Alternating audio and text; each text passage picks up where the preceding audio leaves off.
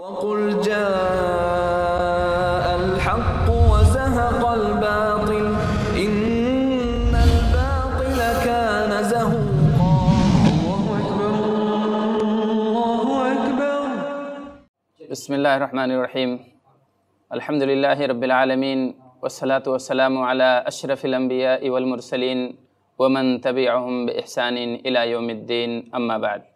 میرے دینی اور ملی بھائیوں اور میری ماں اور بہنوں، میں مصطفیٰ بشیر مدنی آپ حضرات کی خدمت میں ایک انتہائی اہم موضوع لے کر حاضر ہونا چاہتا ہوں۔ موضوع ہے مدینہ منورہ کی تاریخی مقامات کی زیارت۔ یہ بات سب لوگ جانتے ہیں کہ مدینہ دنیا کے مقدس ترین مقامات میں سے ہے۔ یہ بقعہ مبارکہ ہے، ہجرت کی جگہ ہے، محبت وہی ہے، شہر رسول پاک ہے۔ اس کی زیارت کی تمنا ہر مومن کو ہوتی ہے۔ آدمی پائی پائی جمع کرتا ہے اور اگر محنت کی یہ گاڑھی کمائی حج یا عمرے پر صرف ہو جائے تو اسے اپنے لیے باعث سعادت سمجھتا ہے۔ مسجد نبی کے دیدار کے لیے ہر مومن کی آنکھیں پھڑکتی ہیں۔ دل مچلتا ہے اور زبان پہ بار بار یہ جملے آتے ہیں کہ دکھا دے یا الہی، وہ مدینہ کیسی بستی ہے۔ دکھا دے یا الہی، وہ مدینہ کیسی بستی ہے جہاں پر رات دن مولا تیری رحمت برستی ہے؟ ظاہر ہے، جسے زیارت کی حسرت ہوتی ہے، اسی طریقے سے صحیح معلومات کی تڑپ بھی ہمیں ہونی چاہیے۔ مدینہ میں بہت سے مقامات ہیں جہاں لوگ جاتے ہیں، اس کی زیارت کرتے ہیں۔ خواہ ہے، شرعی ناحیے سے اس کی زیارت مطلوب ہوتی ہے یا تو پھر آدمی تاریخی معلومات کے لیے ان مقامات پر جاتا ہے۔ اور دیکھنے میں یہ آتا ہے کہ بہت سارے لوگ وہاں جاتے ہیں، لیکن صحیح معلومات تک نہیں پہنچ پاتے۔ صحیح رہنمائیاں نہیں ہوتی ہیں۔ اس لیے ہم انشاءاللہ اس پروگرام کے واسطے سے یہ جاننے کی کوشش کریں گے کہ مدینہ کے وہ مقامات کون کون سے مقامات ہیں جہاں زیارت کرنی چاہیے یا جن کی زیارت پر ثواب ملتا ہے۔ یا جن کی زیارت تاریخی حیثیت رکھتی ہے اور وہاں ہمیں جانا چاہیے اگر اللہ تبارک تعالیٰ نے کسی کو یہ موقع دیا ہے۔ تو انشاءاللہ ہم آپ کو صحیح معلومات فراہم کرنے کی کوشش کریں گے۔ صحیح احادیث کی روشنی میں یا موثق تاریخی روایات کی روشنی میں آپ حضرات کو ہم ان چیزوں سے آگاہ کریں گے۔ شہر نبی کی زیارت کو جانے والے میرے محترم بھائیوں اس شہر میں آپ کا جانا مبارک ہو۔ جہاں پیارے رسول صلی اللہ علیہ وسلم نے ہجرت کی، جو وہی الہی کا گہوارہ بنا اور ایمان کی پناہ گاہ ٹھہرا۔ ہم دعا کرتے ہیں کہ اللہ تبارک تعالیٰ آپ کا حج اور عمرہ قبول فرمائے۔ آپ کا سارا عمل شرک و بدعت کی غلاظتوں سے پاک ہو اور انہیں اللہ تبارک تعالیٰ کے دربار میں شرف قبولیت حاصل ہو۔ محترم بھائیوں رسول اللہ صلی اللہ علیہ وسلم کی بعثت اس وقت ہوئی جب رسالت کا ایک لمبا وقفہ گزر چکا تھا۔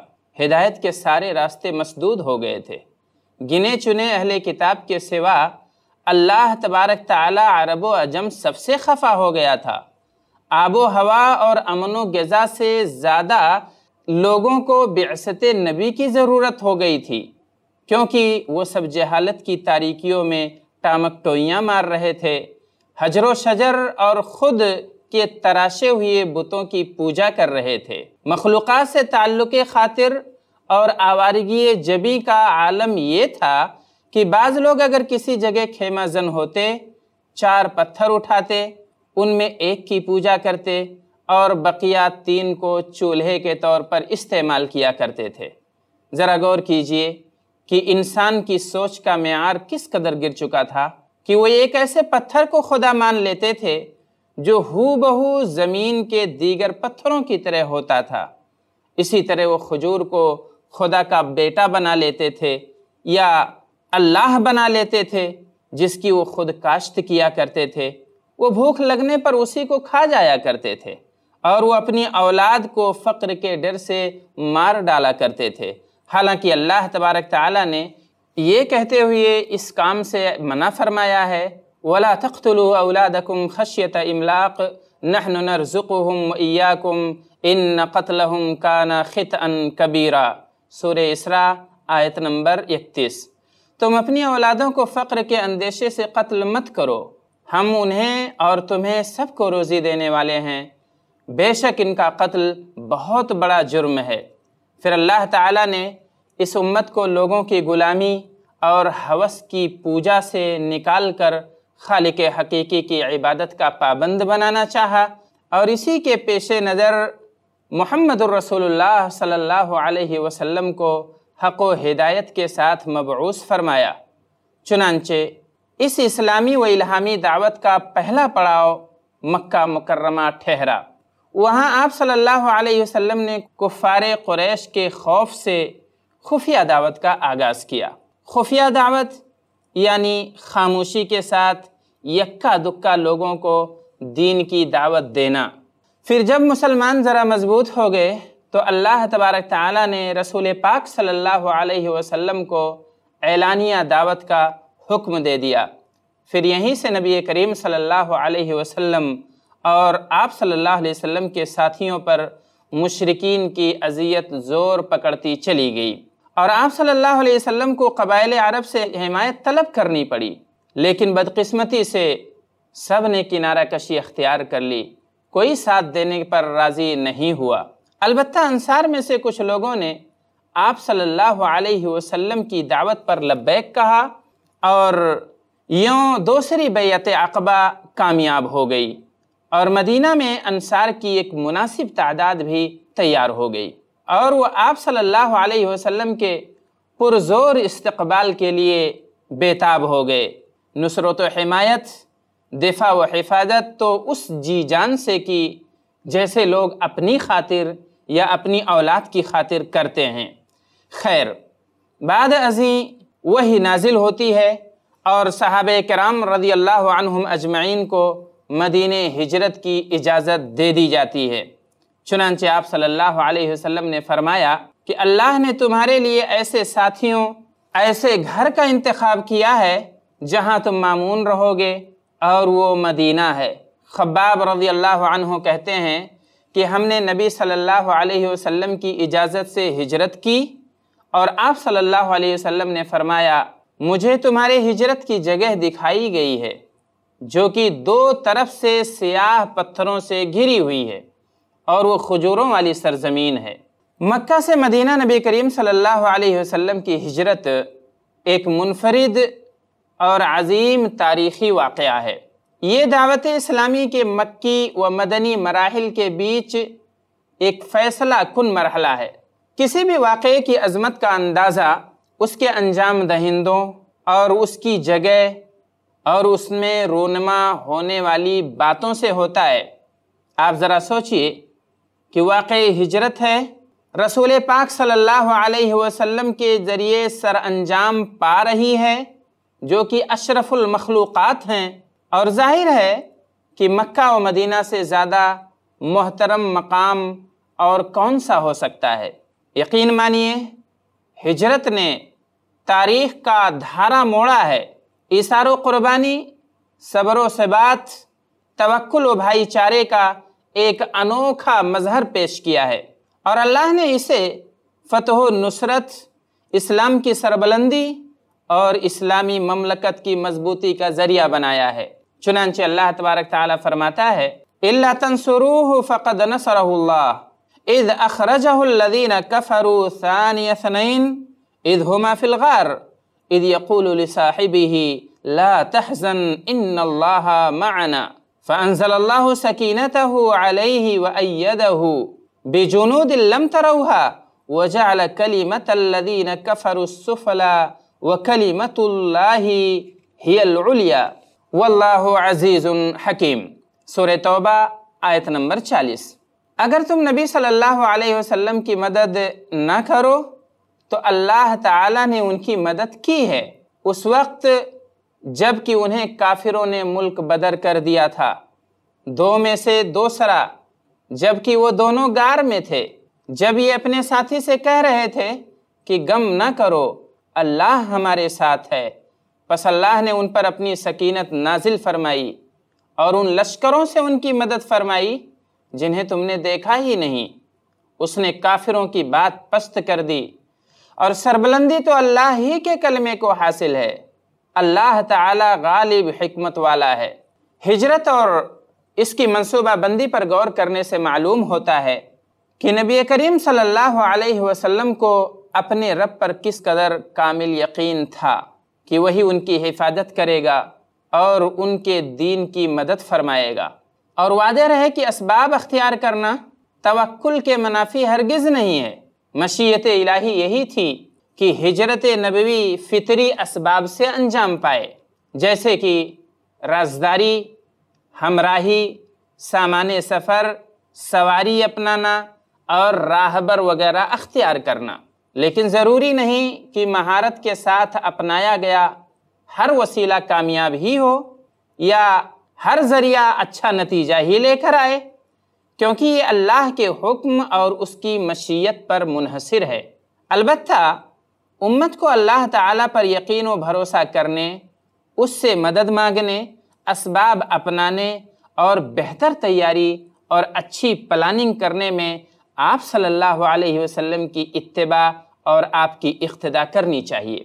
ابو بکر رضی اللہ عنہ فرماتے ہیں کہ جس وقت ہم گار میں تھے مشرقین ہمارا پیچھا کرتے ہوئے ہمارے پاس آ گئے تھے۔ ان کے قدم دیکھ کر میں نے کہا، اللہ کے رسول صلی اللہ علیہ وسلم اگر یہ اپنے قدم کی طرف نگاہ ڈالے تو ہمیں دیکھ لیں گے۔ تو آپ صلی اللہ علیہ وسلم نے فرمایا، ابو بکر، ان دو لوگوں کے بارے میں تمہاری کیا رائے ہے جن کا تیسرا اللہ ہے؟ اسے امام مسلم نے اپنی صحیح میں روایت کیا ہے۔ امام نوی رحمہ اللہ اس کی تشریح کرتے ہوئے لکھتے ہیں کہ یہاں اس قدر پر خطر مقام پر آپ صلی اللہ علیہ وسلم کا عظیم توکل ظاہر ہوتا ہے۔ گھبراہٹ کا مقام تھا۔ لیکن گھبراہٹ کا اثر رسول پاک صلی اللہ علیہ وسلم کے دل میں نہیں تھا۔ یا رسول اللہ صلی اللہ علیہ وسلم کی بات اور آپ کی زبان پہ اس کا اثر نمایاں نہیں تھا۔ اور ابو بکر رضی اللہ عنہ کی فضیلت اور ان کی منقبت بھی اس واقعے سے ظاہر ہو رہی ہے۔ اس مرحلے میں آپ صلی اللہ علیہ وسلم نے صحابہ کرام کے دلوں میں ایمان راسخ کرنے پر پوری توجہ دی یعنی مکی زندگی میں۔ چنانچہ صحابہ کرام اللہ پر پورا ایمان رکھتے تھے، اللہ کو چھوڑ کر نہ کسی کی عبادت کرتے تھے اور نہ ہی حکم الہی کے خلاف کسی ایرے گیرے کو خاطر میں لاتے تھے۔ بس اللہ پر بھروسہ رکھتے تھے، اسی سے لو لگاتے تھے، اس کے عذاب سے ڈرتے تھے اور اسی سے پناہ مانگا کرتے تھے۔ اسی کی امید رحمت و شفقت پر جیا کرتے تھے۔ اللہ رب العالمین پر پورا ایمان، محمد الرسول اللہ صلی اللہ علیہ وسلم پر ایمان، دیگر انبیاء و رسول پر ایمان، اور اس بات کا پختہ یقین کہ ایک دن ضرور آئے گا جس میں ساری مخلوقات کو دوبارہ اٹھایا جائے گا۔ سب رب العالمین کے روبرو ہوں گے اور ہر عمل کا حساب دینا ہوگا۔ فَمَنْ يَعْمَلْ مِثْقَالَ ذَرَّةٍ خَيْرًا يَرَى وَمَنْ يَعْمَلْ مِثْقَالَ ذَرَّةٍ شَرًّا يَرَى پھر اس کے بعد یا تو دائمی جنت ہوگی، یا تو ہمیشہ کے لیے جہنم ہوگی۔ یہی صحابہ کرام رضی اللہ عنہم اجمعین کے ایمان کا خلاصہ تھا۔ اس مرحلے میں ایمان و عقیدے کی پختگی کے ساتھ ساتھ رسول اللہ صلی اللہ علیہ وسلم نے اخلاق سنوارنے پر بھی خصوصی توجہ دی تھی۔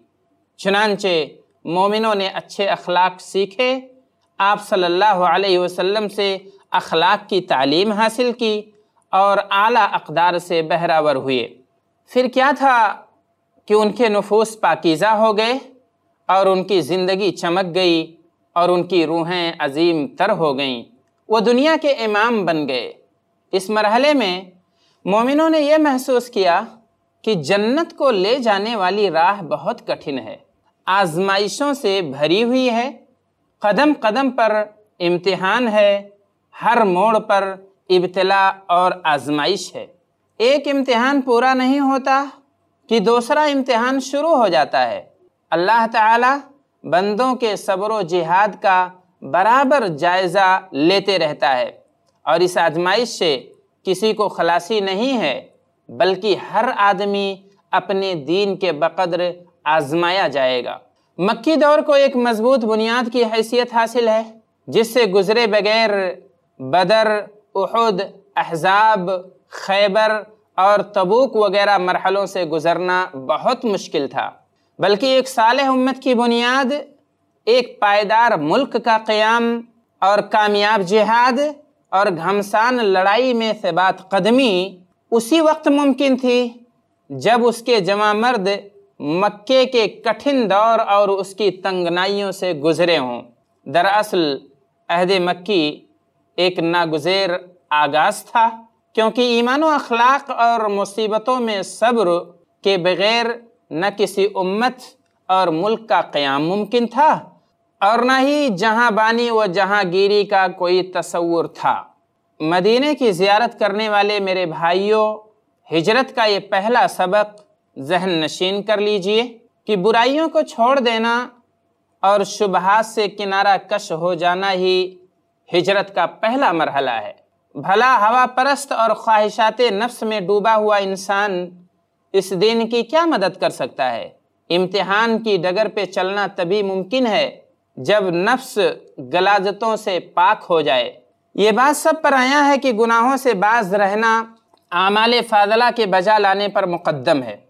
گناہوں سے رک جانا اچھے کام انجام دینے سے زیادہ بہتر ہے۔ نفلی روزہ نہ رکھنے یا نفلی صدقہ نہ کرنے کا عذر تو قابل قبول ہو سکتا ہے، مگر معصیت کے ارتکاب میں کوئی بھی عذر قابل قبول نہیں ہے۔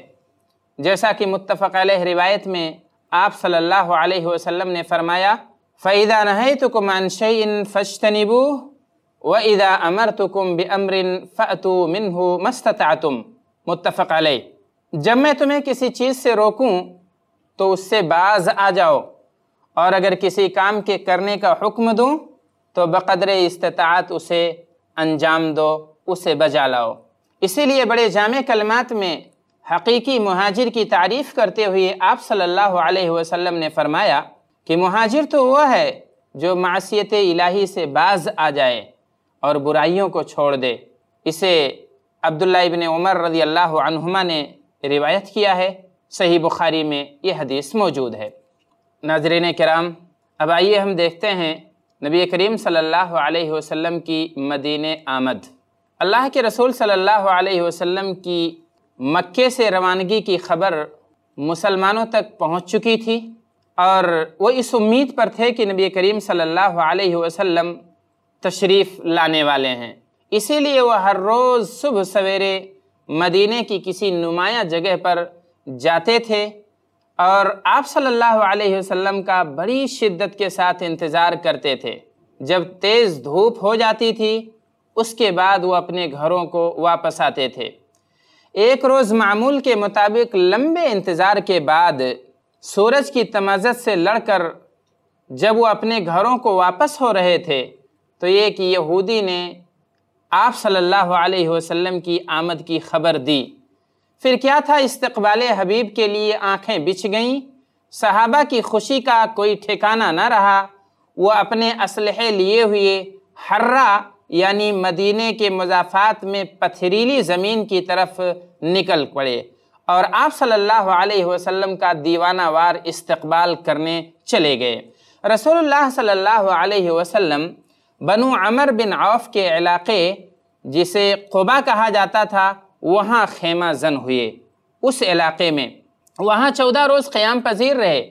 آپ صلی اللہ علیہ وسلم ہجرت کے وقت پہنچتے ہی مدینہ میں نہیں آئے، بلکہ مدینہ بستی سے قریب ایک مناسب فاصلے پر آپ صلی اللہ علیہ وسلم وہاں ٹھہر گئے۔ آپ نے حالات کا جائزہ لیا اور اس کے بعد وہاں مسجد قبا کی سب سے پہلے آپ صلی اللہ علیہ وسلم نے بنیاد ڈالی۔ پھر جب آپ صلی اللہ علیہ وسلم نے مدینہ میں داخل ہونے کا قصد فرمایا، تو بنو نجار کے سرکردہ لوگوں کو بلا بھیجا اور وہ اپنی تلواریں حمائل کیے ہوئے حاضر خدمت ہو گئے۔ نبی کریم صلی اللہ علیہ وسلم کے پاس تشریف لائے۔ روایتوں میں آتا ہے کہ انصار میں سے جن لوگوں نے آپ صلی اللہ علیہ وسلم کے استقبال کا شرف حاصل کیا، ان کی تعداد پانچ سو کے قریب تھی۔ رسول اللہ صلی اللہ علیہ وسلم اور یار غار ابو بکر صدیق رضی اللہ عنہ سواری پہ سوار تھے، دھیرے دھیرے آگے بڑھ رہے تھے اور انصار انہیں چاروں طرف سے گھیرے ہوئے تھے۔ وہ آپ کو پروانوں کی طرح گھیرے ہوئے آپ کے ارد گرد چل رہے تھے۔ جب آپ صلی اللہ علیہ وسلم مدینے میں قدم رنجا ہوئے تو پورے شہر میں جا نبی اللہ کی صدا گونج اٹھی۔ مرد و عورت چھتوں پر چڑھ گئے، بچے راستوں میں مچل مچل کے کہنے لگے جا محمد، یا محمد، یا رسول اللہ۔ آواز بلند کرنے لگے، آپ کا استقبال کرنے لگے۔ چشم دید صحابی برہ بن عازب رضی اللہ عنہ کہتے ہیں کہ اہل مدینہ کو نبی صلی اللہ علیہ وسلم کی آمد سے جو خوشی ملی، وہ میں نے کہیں نہیں دیکھی تھی۔ آپ صلی اللہ علیہ وسلم نے ابو ایوب انصاری رضی اللہ عنہ کے یہاں قیام فرمایا۔ انصاری صحابہ نے مہاجرین کی رہائش اور ان کے گھروں کے لیے قرآن اندازی کی اور خود پر انہیں ترجیح دی۔ اسی لیے ان کی مدح سرائی قرآن میں جگہ پا کر ہمیشہ کے لیے محفوظ ہو گئی۔ چنانچہ لوگ آج تک اس آیت کی تلاوت کرتے ہیں والذین تبوؤوا الدار والایمان من قبلہم یحبون من هاجر الیہم ولا يجدون في صدورهم حاجة مما اوتوا ويؤثرون على انفسهم ولو كان بهم خصاصة. ومن يوق شح نفسه فاولئك هم المفلحون. سورہ حشر آیت نمبر نو۔ اور وہ لوگ جنہوں نے ان سے پہلے مدینے کو ٹھکانہ بنایا اور ایمان کو دلوں میں بسایا اور اپنی طرف ہجرت کر کے آنے والوں سے محبت کرتے ہیں اور انہیں کچھ بھی عطا کر کے اپنے دلوں میں کوئی تنگی محسوس نہیں کرتے ہیں، بلکہ خود اپنے آپ پر انہیں ترجیح دیتے ہیں۔ گو کہ انہیں خود کتنی ہی سخت حاجت کیوں نہ ہو۔ اور دراصل جو بھی نفس کی بخیلی سے بچا لیا گیا، وہی کامیاب اور بامراد ہے۔ رسول اللہ صلی اللہ علیہ وسلم نے انصار کی کچھ یوں تعریف فرمائی، کہا کہ اگر ہجرت نہ ہوتی تو میں انصار کا ایک فرد ہوتا۔ اور آپ صلی اللہ علیہ وسلم ایک دوسرے مقام پر فرماتے ہیں کہ انصار جس وادی یا گھاٹی میں چلیں تو میں بھی انہی کی وادی یا گھاٹی کو اپناؤں گا۔ یقیناً یہ بہت بڑا شرف ہے انصاری صحابہ کے لیے کہ اللہ کے رسول صلی اللہ علیہ وسلم نے ان کی صحبت اور ان کے ساتھ کو ترجیح دینے کی بات کہی ہے۔ اب یہاں پر اس نشست کا وقت ختم ہوتا ہے۔